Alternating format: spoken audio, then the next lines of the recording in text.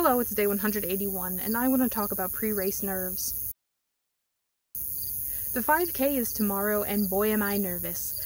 I've only been running semi-seriously in races since about the end of 2019.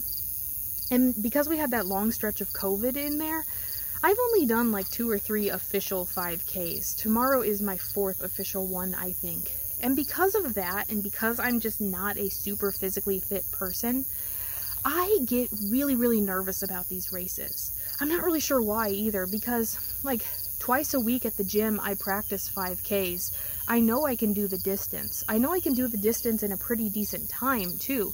I can't run the whole way. I do have to walk for certain intervals, but like I can make it.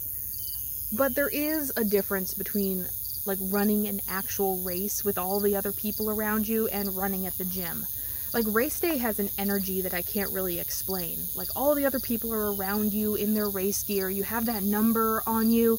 The the race official goes like go and then you're like yeah go and you run and you run as far as you can and you're running on the track and, and it, it is just a different experience. I'm most nervous about the cliffs.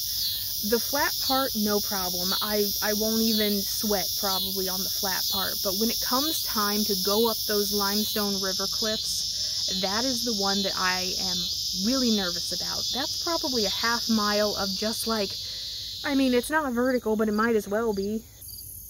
I'd like to become the kind of person who has like a pre-race ritual like a special meal that I eat or a special thing that I do a couple hours before the race. Because right now, my pre race ritual consists of just replaying all of the things that could go wrong during the race. Like, am I going to be able to find parking? What if my registration didn't go through? Like, it's just an anxiety fest for me right now. I'm simultaneously super excited and also can't wait for this to be over. So wish me luck because I'm gonna need it and I'll let you know how it goes tomorrow.